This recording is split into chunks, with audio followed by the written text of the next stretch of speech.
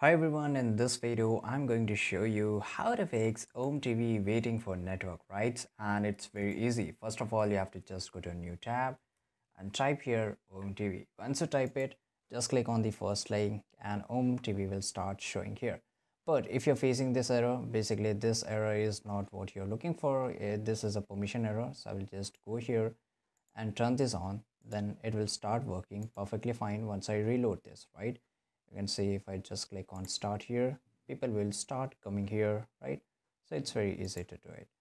And uh, if you're uh, if you're still facing this issue let me just turn off my camera and I will show you properly.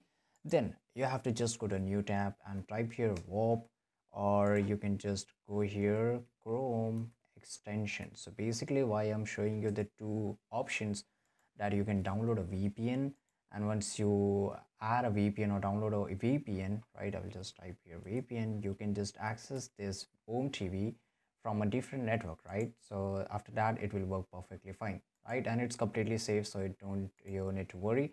Once you go here warp just click on the first and you can download.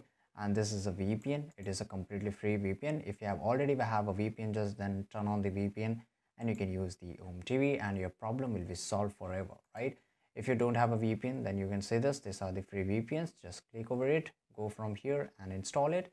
And you can start uh, using a OmeTV and uh, the problem will be solved forever. I hope you found this video really useful. If you did, subscribe.